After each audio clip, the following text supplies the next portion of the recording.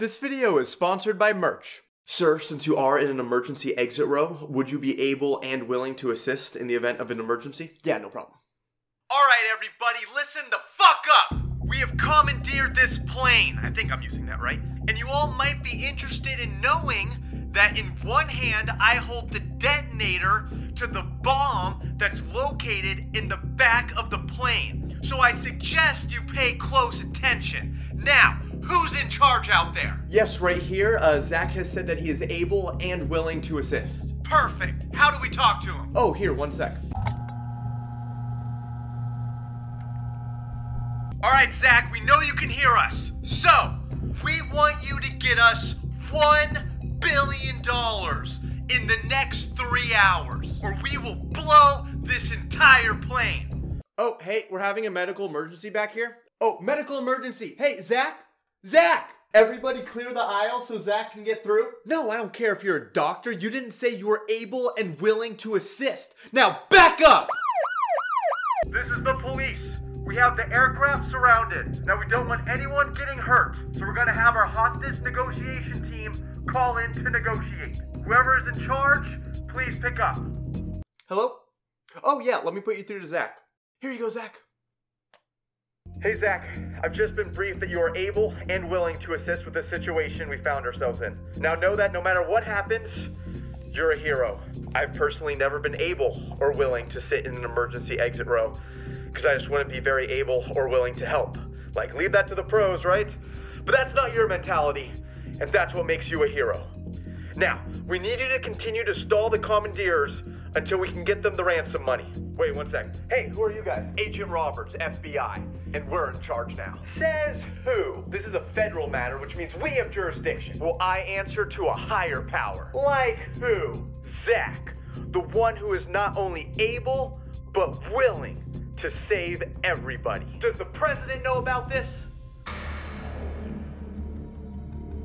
Mr. President, I've just received word that aliens are approaching Earth. Are we talking ET aliens or Independence Day aliens? Independence Day. So the mean ones. Super mean. There's not a single weapon in our arsenal that would be able and willing to defeat an army of Independence Day aliens. I know, sir. But a young man named Zach has said that he is not only able, but willing to assist in the event of an emergency. Well, if this isn't an emergency, I don't know what is. I need to address the nation. My fellow Americans, I regret to inform you that aliens are approaching our planet. And these aliens are like the ones from Independence Day. but luckily, Zach, from emergency exit row seat 12C, is both able and willing to take out this army of Independence Day aliens. Humans of planet Earth, we are the aliens that your president speaks of. And through the power of telepathy, I am able and willing to deliver this message. We come in peace. We only look like the aliens from Independence Day, oh. but we're actually pretty chill. However, our universe is under attack from robot fire demons from another dimension. These robot fire demons will stop at nothing until they've taken over the entire multiverse. So we are building an army of intelligent life from our universe who have what it takes to defend what's ours. This is an emergency. So on your mental keypads, please vote now on who you think is the most able and willing to assist during this emergency.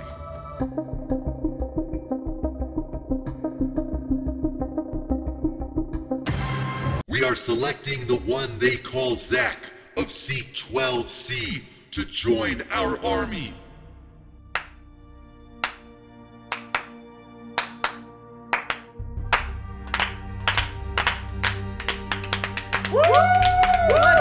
Let's go, Zach, we will now take you to their leader. The fate of our universe rests in your hands.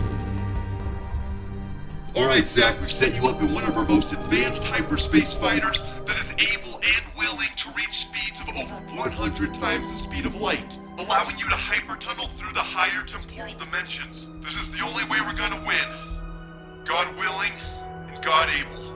Okay, here comes the drop point. Good luck, Zach. You're approaching their leader now.